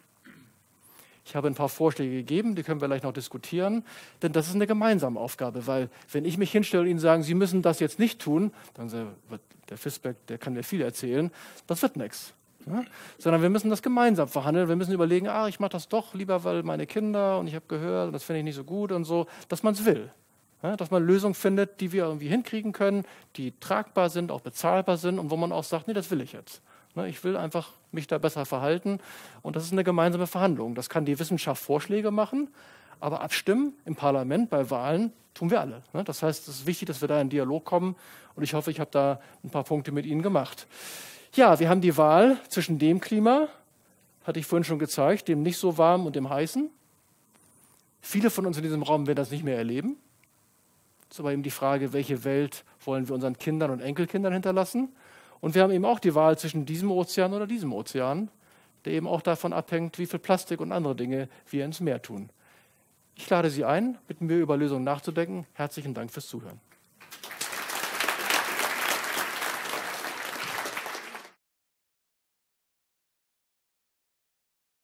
In Ihren Modellen äh, der Klimaentwicklung, welche Rolle spielt dort die Sonne? Das ist eine ganz tolle Frage. Hat jetzt mit dem Meer nicht direkt was zu tun, aber ich kann Ihnen das äh, gerne beantworten. Frau Mattes hat es im Film vorhin schon erwähnt. Äh, wir sind äh, natürlich äh, daran interessiert an allen Faktoren, die Klima ändern. Da gehört Vulkanismus zu, da gehört die Sonne zu. Und wir modellieren eben mit dem Was wäre wenn Szenario natürlich die bekannten Sonnenfleckenzyklen. Wir gucken uns auch an, da gibt es durchaus verschiedene Größenordnungen, die man da sich vorstellen kann. Und ich kann Ihnen da gerne auch ein paar äh, Publikationen zeigen und nennen dazu. Wir wissen heute, dass wir die schon jetzt beobachtete Erwärmung, wir müssen nicht in die Zukunft gucken, nur was wir jetzt sehen, kann man auch mit den verstärksten Verstärkungen der Sonne nicht erklären. Denn die Sonnen haben da auch Zyklen, da gibt es jetzt keinen Trend drin, aber die Zyklen sind da, die sieht man auch in, der, in den Klimakurven drin, wenn man genau reinguckt. Aber wenn man sich die letzten 50 Jahre anguckt, dann ist die Erwärmung, die wir da sehen, mit keinem der Sonnenmodelle konsistent. Deswegen, das ist natürlich ein wichtiger Punkt und Vulkane sind genauso wichtig, denn immer wenn große Vulkane passieren, kühlt sich die Erde ab. Man muss ja aufpassen, dass man nicht gerade da den Startwert macht, weil dann wird es ja wieder normal und erwärmt sich dann in der Zeit. Ne? Das wird alles sehr genau berücksichtigt und das ist natürlich auch wissenschaftlich ganz spannend. Wir wollen ja wissen, wie es geht und da ist die Sonne genauso spannend wie CO2, wie Vulkanismus und andere Faktoren. Das wird alles mit berücksichtigt, äh, so gut man es kann in der Wissenschaft. Da jetzt gibt's keine Scheuklappen, gar nicht. Ne? Aber wir können da gerne noch ein paar Fachjournale oder so austauschen durch die Erwärmung des, äh, Ozean, der Ozeane äh, soll doch angeblich äh, der Golfstrom ja. abgelenkt werden. Genau. Da könnte ich auch noch ein Bild zu zeigen. Das ist, ich habe da noch eine Folie dabei, das hilft vielleicht ein bisschen. Muss ich einmal schneller hier über die anderen wegspringen, die sind auch schön, aber die wollte ich jetzt nicht zeigen. Ähm, hier habe ich meine Kurve mitgebracht. Ähm, diese Zirkulation haben Sie jetzt angesprochen, die Golfstromzirkulation. Äh, ganz richtig sieht man hier im Bild dieses, dieser rote, die, der rote Golfstrom. Was allerdings wissenschaftlich äh, für uns genauso spannend ist, ist eben das kalte Wasser, was im Norden hier sinkt und dann als kalte Strömung zurückkommt. Ist auch Teil des Golfstromsystems. Diese Umweltbewegung, das hatte die Frau Mattes im Film schon erwähnt, warmes Wasser geht nach Norden im Golfstrom und in der Tiefe geht kaltes Wasser zurück. Das ist die klima viel relevantere Zirkulation, weil, weil, weil das sowieso eine Zentralheizung funktioniert. Das ist der Teil der Golfstromzirkulation, der eben Europa milde oder warm hält. Und was uns interessiert, ist eben, wie das da passiert. Und hier sehen Sie mal zwei, äh, zwei Bilder von äh, Klimamodellen, die das jetzt versuchen zu simulieren auf dem Computer, kann man natürlich immer hinterfragen in diesen What-If-Szenarien, das ist der Klimaschutzszenarium und das ist das Wir machen nichts. Und Sie sehen, die meisten dieser Modelle zeigen an, dass diese Golfstromzirkulation von dieser Zahl 20, das ist eine Volumenzahl, reduziert wird auf 10. Manche nicht ganz so viel. Wenn man das alles normiert und zusammenrechnet, dann ist die beste Vorhersage, die wir im Moment haben, es müsste sich bis in sagen wir, nächsten 70, 80 Jahren um 30 Prozent reduzieren diese Strömung. Das sagen die Modelle. Ich selber äh, arbeite daran äh, mit meinem Kollegen Jürgen Fischer und wir messen genau an dieser Stelle die kalte Strömung. Und ich kann Ihnen sagen, über die letzten 17 Jahre, dort, wo wir dort Messungen machen, hat sich noch nichts verändert. Das schwankt da zwar ein bisschen, aber es ist noch stabil. Das ist allerdings äh, genau das, was die Modelle eben auch gesagt haben, dass noch passiert da nicht viel, sondern die großen Änderungen stehen uns vor in den nächsten 30 Jahren und wir machen eben jetzt die Basismessungen dazu, dass wir uns in 30 Jahren wieder treffen können und dann darüber diskutieren, ob sich es nun verändert hat oder nicht. Ne? Das machen wir jetzt. Die Vorhersagen sind da relativ eindeutig mit auch im Fehlerbereich, das soll reduziert sein und ich als Wissenschaftler sage, oh, weiß ich nicht, ich gucke mir das mal an ne? und mal sehen, ob das wirklich stattfindet. Wir rüsten uns dafür auf, dass wir eben das beobachten können und dann in 30 Jahren das verhandeln können, ob die Modelle recht hatten oder nicht. Sie erwähnten auch die Müllstrudel, zum Beispiel im Atlantik. Ja. Ähm, mal abgesehen von der Frage, wie hoch man die Priorität des Kunststoffes im Meer da jetzt einschätzt, ähm, wie, es gibt ja Ideen, diesen Kunststoff über letztlich große Reusen oder ähnliches in diesen genau. Strömungsstrudeln genau. einzufangen. Oceans Cleanup Project vor allem wie plausibel ja. schätzen Sie das ein? Ja, tolle Frage. Ich wiederhole mal so ein bisschen, dass alle das gut mitkriegen. Ähm, die Frage war jetzt zu diesem Plastikmüll. Das ist ja eine Sache, die so sichtbar ist, die wir alle, die da mal am Strand sind, das sieht man ja sofort. Ne? Diese Klimaveränderung, das ist ja für den Laien nicht so sichtbar. Ne? Aber diese Müllthematik schon. Ich hatte gesprochen von diesen großen Wirbeln, wo das Plastik sich sammelt. In der Tat gibt es sie in allen Ozeanen, weil das eben, wie ich den, den Golfstromwirbel gerade gezeigt habe, ist eben auch im Atlantik da, im Südatlantik. Da fahre ich jetzt hin, mache da auch ein paar Messungen. Indischer Ozean, Pazifik gibt es überall. Und da gibt es Leute, die sagen, oh, dann, das ist ja so schlimm und schwierig, da müssen wir jetzt aufräumen. Ja, da gibt es also Leute, die haben die Idee und sagen, wir bauen da in der Mitte von diesen großen Ozeanbecken so riesen Netze, muss ich sich vorstellen. Das wird da so ein bisschen geschickter gemacht, aber die sollen das Plastik dann irgendwie einsammeln und dann ist die Idee, man fährt mit dem Schiff dahin und holt den Müll ab und verarbeitet den. Ne? Das ist noch nicht so ganz geklärt. Äh, wir in der Forschung, äh, das ist äh, so ein junger Kerl, der das, ein Holländer, der das sehr vermarktet medial. ehrlicherweise, die ganzen Meeresforschungen sagen ganz ehrlich, das wird nicht funktionieren. man mag jetzt auch den netten jungen Mann, der sich ja sehr engagiert und medial sehr merkwürdig ist, aber ganz ehrlich, wir sind super kritisch, weil was der erstmal fängt, sind die ganzen Meeresorganismen in seinem Netz. Der wird auch Plastik fangen, aber so wie ich das Ihnen gezeigt habe, diese dichten Plastikmengen, die gibt es in Flussmündungen. Da wird das gut funktionieren. Wenn er das sagen würde, ich gehe von Ganges River und hole das da raus, d'accord. Aber im offenen Ozean ist das Plastik doch noch sehr weit verstreut. Ne? Da wird man also vor allen Dingen alles das fangen, was wir noch schützen wollen. Und das, was man da rausholen möchte, das Plastik, das wird sehr teuer sein, das ist nicht hoch verdichtet da. Meine Antwort, ich habe nichts dagegen, tolle Ideen, ist auch super, aber ganz ehrlich, ich würde mein Geld auf Müllvermeidung setzen. Lass uns doch mal anfangen, dass nicht mehr Müll dazukommt. Das ist schon mal ein guter Start. Ne? Und ich glaube, das ist billiger, besser zu machen. Und das bedeutet nämlich Land, äh, am Land Müllverarbeitung. Das ist eh eine gute Sache. Äh, und dann können wir uns über das Aufräumen auf See immer noch Gedanken machen, weil das technisch viel schwieriger, viel teurer wird. Aber es ist eine schöne Idee. Ne? Und da kriegt natürlich viel mediale Aufmerksamkeit damit. Und wir haben so ein bisschen so ein Problem, sagen, Aufmerksamkeit für den Ozean ist ja gut, aber gerade diese Lösung ist jetzt nicht so meine erste. Im Mittelalter hat man nur eine kleine Eiszeit und äh, ja. könnte sowas wiederkommen und damit wären wir ja alle Probleme auf einen Schlag alle los. Nicht? Ja. Ja, äh, also tolle Frage. Also es ging darum, die Frage, äh, wir haben im Mittelalter ja mal eine kleine Eiszeit erlebt, das stimmt, das kann man auch in den Daten ganz gut zeigen. Und ähm, die ist allerdings, die war jetzt kein Grad. Ne? Wir haben ja schon Grad wärmer, aber ein halbes wahrscheinlich. Ne? Äh, und die Frage ist, wenn jetzt so eine Eiszeit wieder käme, das ist ja, wir haben noch nicht alles da gelöst. Das ist eine Kombination aus der Sonne übrigens, die da eine Rolle gespielt hat, aber ein paar andere Sachen auch. Ähm, die war auch nicht ganz global, aber ein bisschen regional, aber gab es auf jeden Fall. Kann man sagen, ach, wir können ja Glück haben. Ne? Vielleicht kommt die nächste kleine Eiszeit und dann wird es nicht ganz so warm. Bin ich dabei. Ich meine, wenn ich jetzt äh, das vorhersagen könnte und das käme, ich bin ja nicht jemand, der einen warmen Planeten mag, ich mag eher einen kühleren. Das, das könnten wir loswerden. Was wir nicht loswerden, ist das Thema mit mehr CO2 im Wasser und das Wasser wird saurer. Das Problem ist ein rein physikalisches. CO2 in der Atmosphäre löst sich im Meer ändert sich der pH-Wert. Ne?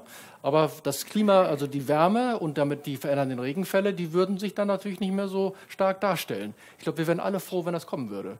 Äh, allerdings wird das keiner steuern können. Das ist ja so eine natürliche Schwankung. Äh, es kann auch noch keiner gut vorhersagen. Also die kleinen Eiszeiten, die sieht man in den Daten. Sonnenzyklen spielen da eine Rolle, andere Sachen auch, Vulkane haben auch eine Rolle gespielt und da gibt es ein bisschen Wechselwirkung dazu. Aber wir könnten auch uns darauf vereinbaren, lassen wir doch zehn Vulkane loslaufen. Das würde uns deutlich mehr Abkühlung liefern. Aber auch das äh, können wir uns ja nicht aussuchen. Ne? Die Vulkane sind ja nicht von uns, von uns, zum Glück vielleicht nicht von uns äh, beeinflusst. Äh, aber in der Tat, solche Dinge gibt es natürlich immer im System. Diese natürlichen Schwankungen sind da, die wird es auch weiter geben. Und äh, die muss man eben irgendwie mit berücksichtigen. Und deswegen sind wir immer so ein bisschen dafür, so Strategien zu fahren, wo man nie sagt, das war doof. Ne? Also, also ein bisschen flexibel darauf zu reagieren. Allerdings sich darauf zu verlassen, dass eine kleine Eiszeit kommt und schon nicht so schlimm wird da werden ihre Enkelkinder sich ganz schön angucken für. Und wir sagen, ihr wart ja naiv, ne?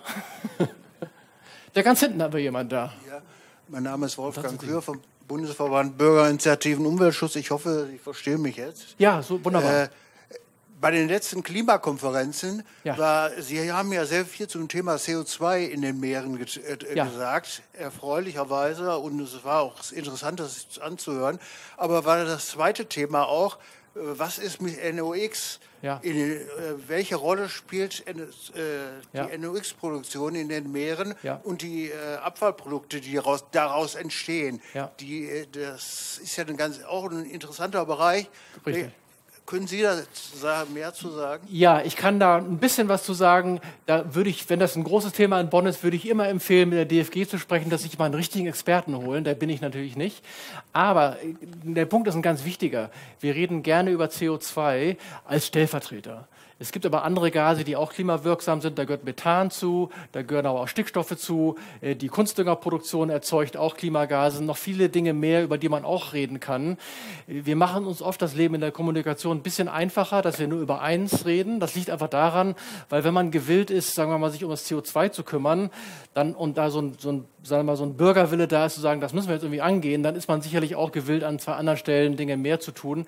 Gerade das Thema Stickstoffkreislauf äh, und die damit verbundenen äh, Veränderungen der atmosphärischen Zusammensetzung sind auch nicht leicht, denn wir haben ja eine zunehmende Weltbevölkerung, die wir auch nicht hungern haben wollen. Die sollen ja alle auch gesund und äh, satt werden dürfen.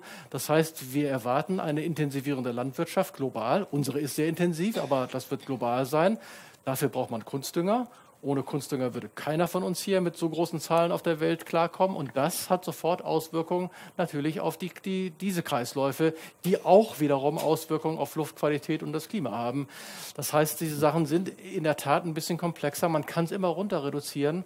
Viele Menschen auf einer Erde, die viel machen wollen, was wir eigentlich alle toll finden, bedeutet aber auch, man wird viele Auswirkungen haben. Ne? Und mit diesen umzugehen, das zu verhandeln, ist eben die Schwierigkeit dieser Agenda. Und deswegen bin ich immer so ein bisschen vorsichtig mit einfachen Lösungen. Die gibt es meistens nicht, sondern das ist doch ein bisschen komplexer. Aber das Thema Landnutzung, äh, man, ehrlicherweise, da gibt es auch eine Ozeandimension zu, denn Kunstdünger, Phosphate werden langsam knapp. Und wissen Sie, wo die jetzt herkommen? Die werden aus, in, in, in abgebaut. Namibia hat eine große Phosphatmine gerade aufgemacht und Südafrika wird wahrscheinlich in einem Jahr einsteigen mit massiven Umweltverschmutzungen. Das wird so wie Tagebau da einfach so von der Küste weggebaggert. Ne? Weil Phosphate, Land äh, ist eben eng geworden, weil äh, intensive Landwirtschaft bedarf eben Kunstdünger.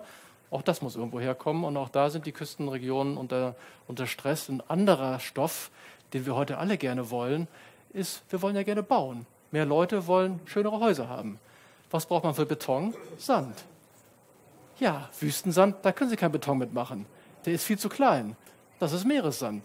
Und auch da wird er langsam knapp und da werden eben große Küstenregionen abgebaggert. Äh, um den Sand zu, weltweit wird das rumgeschifft, um eben Betonbauten zu ermöglichen. Denn da, wo wir ganz viel Sand von haben, in der Wüste, der ist viel zu klein gemahlen, da kriegen Sie kein Hochhaus mitgebaut. Sie sehen, die Ressourcenfragen sind sehr komplex und das Meer ist immer dann ein Stück weit davon da.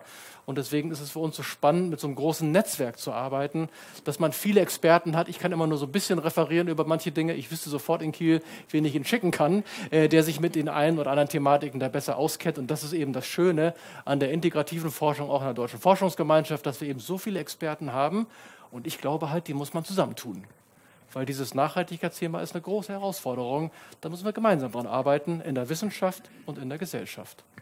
Sie hatten in Ihrer Startfolie ähm, ein Bild zum Thema Geoengineering. Ja. Das heißt also wo, künstliche Wolkenbildung, damit Richtig. die Erde kühler wird. Können Sie dazu noch ein bisschen was sagen? Ja. Was läuft da eigentlich wirklich ja. in wissenschaftlicher Sicht? Tolle Frage. Ähm, ist eine, die, äh, wo ich gerne dazu spreche, weil ich es angestoßen habe. Äh, vor ungefähr sechs Jahren äh, hatte ich mit meinen amerikanischen Kollegen da ein paar Diskussionen und die sagten, ah, Martin, ich bin gerade eingeladen worden bei den amerikanischen Militärs da und die interessieren sich für dieses Klimaproblem, die glauben, das ist eine echte Herausforderung, aber das, da kann man doch was machen. Da kann man doch irgendwie Partikel in die Atmosphäre schießen, so ein Vulkanausbruch in künstlich und dann kann man die Sonneneinstrahlung reduzieren und dann wird es halt nicht mehr so warm. Das ist doch eine gute Lösung. Und da habe ich gedacht, boah, das, das waren jetzt Leute, die ich gut kannte und sag, die werden jetzt beim amerikanischen Militär da zitiert für irgendwelche Diskussionen. Da habe ich gesagt, erzähl mal mehr, was, was geht da? Nicht? Und dann äh, gibt es eben, haben wir da gelernt, da gibt es eben viele Möglichkeiten, das zu tun. Und wir haben der Deutschen Forschungsgemeinschaft vorgeschlagen, dazu ein Schwerpunktprogramm zu machen. Das heißt, in der deutschen Wissenschaftslandschaft dazu forschen. Den Antrag haben wir eingereicht. Und da war eigentlich ganz gut begutachtet, aber der Senat der Deutschen Forschungsgemeinschaft, das höchste Gremium, hat gesagt, ah, nee. Wir wollen jetzt nicht in der Bildzeitung haben, die Deutsche Forschungsgemeinschaft fördert Climate Engineering. Haben wir gar nicht beantragt. Da bin ich zum Senat dann ein Jahr später hin, habe einen Vortrag gehalten mit äh, damals mit Herrn Kleiner und habe gesagt, Freunde, keiner von uns ist Ingenieur. Wir finden das auch nicht gut, aber wir müssen doch in der Wissenschaft sprechfähig sein. Wir können nämlich dieselben Modelle benutzen und sagen, was wäre wenn? Ne, wenn man von diesen Schiffen, die ich gezeigt hatte, oder die Partikel in die Stratosphäre schießt, geht das überhaupt? Was sind die Nebenwirkungen? Dann haben wir Ökonomen, die sagen, was kostet das? Dann haben wir Völkerrechtler, die sagen, darf man das denn? Und dann haben wir eben Leute, die sagen, wie ist denn die Kompensation davon? Denn alle diese Methoden, die diskutiert werden, haben Vor- und Nachteile da werden die Regengebiete sich verschieben. Ne? Und da kann man sagen, ja, tut mir leid, Sie haben ein bisschen Pech gehabt, das Klima ist zwar gerettet, aber Ihre Region ist leider zur Wüste geworden. Äh, da werden Sie natürlich sagen, Moment mal, äh, und was zahlt ihr mir dafür? Äh, und diese Verhandlungen haben wir durch jetzt äh, fünf Jahre Forschungsarbeit herausgefunden, sind schwieriger als die Klimaverhandlungen. Und wir glauben einfach, dass es politisch einfacher ist, harten Klimaschutz durchzukriegen als Climate Engineering. Und trotzdem ist es eine Forschungsaufgabe, denn wir sind ja nicht Umsetzer, wir sind ja jetzt ja keine NGO oder so, sondern wir wollen ja noch herausfinden, geht das, wie geht's, kann man es, einfach auf die Wissensbasis da schaffen. Und wir haben uns bewusst entschieden, nicht Ingenieurswissenschaften zu fördern, Ideen gab es da eh schon genug, sondern einfach mal die Begleitforschung zu machen, um einfach vernünftig zu beleuchten für die Gesellschaft, was sind denn die Nebenwirkungen, was sind denn die Auswirkungen, was ist der Rechtsregime davon, unter welchen Voraussetzungen könnte man sich vorstellen, dass eine Gesellschaft das gerne will. Ne, es kann ja auch sein, dass man das als Option gerne in der Tasche hat, aber nicht als erstes zieht. Das haben wir da untersucht, untersuchen wir noch. Ich hatte jetzt gerade einen Workshop letzte Woche dazu. Und das ist eine ganz, ganz spannende Frage. Und stolz für uns, Deutschland ist das einzige Land, was ein integratives Forschungsprogramm zu diesem Thema hat. In allen anderen Ländern ist das industriegetrieben, ingenieursgetrieben und die Mainstream-Forschung ist irgendwie so nicht richtig da organisiert. Ich bin ganz stolz auf uns, dass wir uns das getraut haben, dieses oh, schwierige Thema äh, anzugehen in der Forschung und uns eben nicht von dem politischen Raum da reinreden lassen haben, sondern gesagt haben, wir haben, eine, wir haben das damals auch Verantwortungsinitiative genannt, weil wir gesagt haben, man muss doch wissen, was das ist und was Leute da erzählen. Ne? Ist das belastbar? Ist das nur eine Aussage? Sind das Experten? Und das war toll. Und da gibt es auch Meeresoptionen dazu übrigens. Man kann auch CO2 ins Meer reintun, man kann auch Eisendüngung im Meer machen, viele Dinge mehr, die wir da diskutieren. Kann ich heute auch nicht referieren, können wir gerne mal wiederkommen für. Aber auch das ist eine spannende Frage äh, mit diesem aktiven Eingreifen ins Klimasystem. Da gibt es auch moralische Fragen, ob man das überhaupt darf. Ich war als Segler vor ein paar Jahren mit einer Schulklasse Transatlantik unterwegs. Tor Heyerdahl ist das Objekt. Und äh, vorher schon seit 30 Jahren Transatlantik immer mal auch auf Großschiffen. Als Schiffsdoktor kam man ja überall rein, da kann man auch mitfahren. So, die Schulklasse saß äh, einen Tag am Unterricht und am nächsten Tag machten sich Tag und Nacht die Schichten, äh, um das Segelboot zum Segeln zu bringen.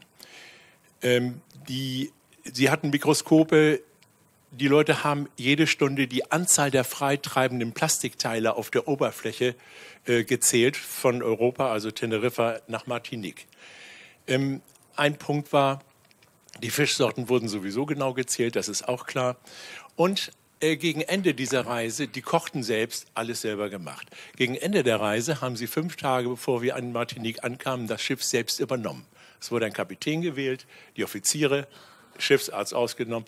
Äh, die Offiziere wurden verteilt und dann kamen wir drüben an. Der Bootsmann und ich packten die Pässe oben rein und dann gingen wir an Land und suchten die Zöllnerin, den Zöllner. Das war ein Geschäft mit einer älteren französischen Dame. Die sagte, Sie haben aber viele Pässe mit dabei. Ja, Schiffssinn. Und er sagte, was haben die Kinder denn auf der Reise gelernt? Und dann äh, sagte der Bootsmann, Verantwortung übernehmen, die Umwelt sehen und all die Dinge, die man unten arbeiten, zielstrebig, gründlich. Sie hörte sich das an und dann kam nach einiger Zeit eigentlich nur ein kurzer Satz. Eigentlich sollten Sie alle Kinder dieser Welt mitnehmen. Ich würde sagen, tolles Schlusswort. Ne? Herzlichen Dank fürs Zuhören.